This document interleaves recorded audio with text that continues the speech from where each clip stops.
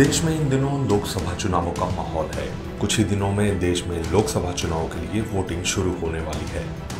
सभी पार्टियाँ चुनाव प्रचार में जुटी हुई हैं। इस बीच कांग्रेस पार्टी को चुनावों से ठीक पहले एक बड़ा झटका लगा है। कांग्रेस के बड़े नेता गौरव वल्लभ ने पार्टी से इस्तीफा दे दिया है। गौरव वल्लभ ने कांग्रेस पार्टी से इस्तीफे की वजह का भी खुलासा किया है। गौरव वल्लभ ने अपने सोशल मीडिया अकाउंट एक्स पर अपने इस्तीफे को शेयर करते हुए कहा है कि वो सनातन विरोधी नारे नहीं लगा सकते। ऐसे में पार्टी में बने रहना उनके लिए मुश्किल है। गौरव वल्लभ ने अपने सोशल मीडिया अकाउंट एक्स पर कांग्रेस अध्यक्ष मल्लिकार्जुन खड़गे को भेजे इस्तीफे की फ़ोटो शेयर करते हुए एक पोस्ट लिखा है। इसमें गौरव वल्लभ ने लिखा है कि कांग्रेस पार्टी जिस प्रकार से दिशाहीन होकर आगे बढ़ रही है, उससे मैं खुद को सहज महसूस नहीं कर पा रहा हूँ। मैं ना तो सनातन विरोधी नारे लगा सकता हूँ और ना ही सुबह शाम देश के वेल्थ क्रिएटर्स को गाली दे सकता हूँ। इस कारण मैं कांग्रेस पार्टी के सभी पदों और प्राथमिक सदस्यता से इस्तीफा दे रहा हूँ।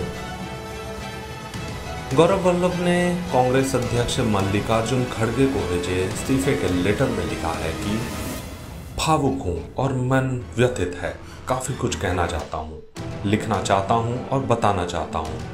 लेकिन मेरे संस्कार ऐसा कुछ भी करने से मना करते हैं। फिर भी मैं आज अपनी बातों को आपके समक्ष रख रहा हूँ। क्योंकि मुझे लगता है कि सच को छुपाना भी अपराध है। ऐसे में मैं अपराध का भागी नहीं बनना चाहता। गौरव वल्लभ ने आगे लेटर में लिखा कि, जब मैंने कांग्रेस पार्टी ज्वाइन की थी तो मेरा मानना था कि कांग्रेस देश की सबसे पुरानी पार्टी है। यहाँ पर युवा और बौद्धिक लोगों के आइडिया की कद्र होती है।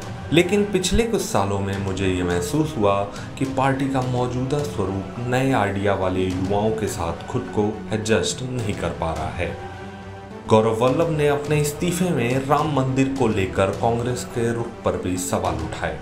गौरव वल्लभ ने लिखा कि, अयोध्या में रामलला की प्राण प्रतिष्ठा समारोह को लेकर कांग्रेस के रुख से मैं शुद्ध हूँ।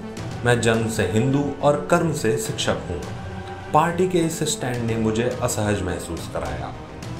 पार्टी और गठबंधन से जुड़े कई लोग सनातन के विरोध में बोलते हैं। इन दिनों पार्टी गलत दिशा में आगे बढ़ रही है। एक ओर हम जाति आधारित जनगणना की बात करते हैं तो वहीं दूसरी ओर संपूर्ण हिंदू समाज के विरोधी नज़र आ रहे हैं। लोकसभा चुनाव में कांग्रेस को झटके पर झटके ही लग रहे हैं। तीन मार्च को ही बॉक्सिंग में भारत के पहले ओलंपिक पदक विजेता और कांग्रेस नेता विजेंदर सिंह कांग्रेस पार्टी छोड़कर बीजेपी में शामिल हो गए और अब गौरव वल्लभ के इस्तीफे ने कांग्रेस की मुश्किलें और बढ़ा दी हैं। टाइम्स ऑफ़ भारत डिजिटल की रिपोर्ट।